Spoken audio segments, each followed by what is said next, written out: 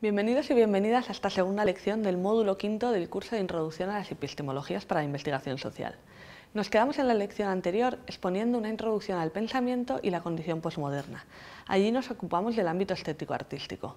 Antes de pasar en la tercera lección al epistemológico, un, un, segundo ámbito en el que hay que considerar lo posmoderno o la posmodernidad es el ámbito histórico-social, refiriéndonos con ello a las condiciones y formas de vida de los sujetos en un momento dado, el presente. Al tratar lo histórico-social pondremos énfasis en lo cultural, lo económico y, fundamental entre ambos, lo tecnológico, muy especialmente en lo que respecta a las nuevas tecnologías de la información y la comunicación, dado su potencial transformador y configurador en la esfera cultural. De un lado, la posmodernidad puede verse como una aceleración o acentuación de los procesos de la modernidad, pero también de rupturas radicales. La caída del muro de Berlín en 1989 pone de manifiesto el fin de un tipo de polarización social y política, que era muy característico de la sociedad industrial, así como el paso o transición a una sociedad posindustrial, fenómeno que fue diagnosticado y teorizado un par de décadas antes de la caída del muro por los sociólogos Alan Turing o Daniel Bell. En lo que respecta a la esfera económica, se incrementa la mercantilización de la vida y de las relaciones sociales y el consumo se exacerba. De esta manera, el consumismo se ve como la gran utopía posible ante el fin de los proyectos emancipadores de la modernidad.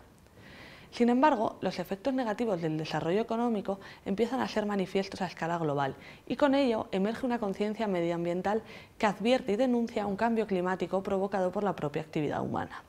En consonancia con estos con esto aparecen unos valores posmaterialistas. Se acuña el término antropoceno para resaltar la magnitud del cambio ocurrido en el planeta Tierra y que sería de una magnitud equiparable a una nueva era geológica. Con este hecho se resalta la indisoluble unidad de ámbitos que antes, ontológicamente, se consideraban fijos y separados, lo no humano y lo humano, la naturaleza y la cultura. Como veremos en la lección siguiente, esta inestabilidad de lo que es, de lo que es dado por sentado o del ser en términos más filosóficos, es una de las características centrales del pensamiento posmoderno. La promesa moderna de una mejora y un avance indefinido de las sociedades humanas, que estaban contenidas en los grandes relatos o metanarrativas de la modernidad con sus utopías emancipatorias, se desmoronan la idea de progreso lineal de las sociedades no solo se ve como algo imposible, sino también como responsable de ese estado crítico de las cosas. Por todo esto que acabamos de comentar, la experiencia vital cotidiana de los sujetos que viven, o mejor que vivimos en las sociedades actuales, está definida por el riesgo y por la incertidumbre, dos conceptos centrales que definen el vivir y el sobrevivir en las sociedades actuales, es decir, las sociedades posmodernas. Pero no solo por todo esto que estamos diciendo, sino también porque las instituciones sociales básicas que habían funcionado en la modernidad, dando sentido, estabilidad, continuidad, cohesión y vinculación, pierden capacidad para ejercer esa función. Los individuos en la sociedad posmoderna nos hemos quedado sin instituciones legitimadas, sin referentes que nos inspiren, sin modelos que nos orienten, sin las bases sociales que nos den seguridad. Seguridad física, emocional, pero también ontológica y epistemológica. Nos referimos a instituciones que eran clave tanto en nuestras relaciones básicas como en nuestra identidad personal, como son el trabajo, la escuela, el matrimonio, la pareja, la familia, el Estado-nación, los partidos, la democracia, la iglesia, las clases sociales, el género y, como veremos en la lección siguiente, la ciencia.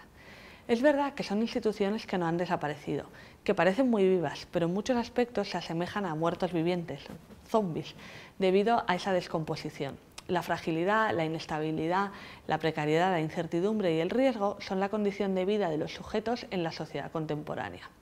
Expresado en términos del sociólogo Zygmunt Bauman, nuestras vidas son vidas líquidas, frente a la solidez y estabilidad con la que se vivían en la primera modernidad de la sociedad industrial. En consonancia con todo ello, nos encontramos con la proliferación tanto de la individualización como del individualismo. Con ello, las comunidades pierden su fuerza cohesionadora e integradora y los lazos sociales que nos vinculan con otros miembros de la sociedad se tornan maleables, débiles y efímeros, líquidos. Hasta aquí esta introducción a la posmodernidad. Nos queda por, tratar el sentido que tiene que ver con lo epistemológico y más concretamente con la ciencia y la producción de conocimiento, pero también, y muy significativo, con la legitimidad de este, del conocimiento.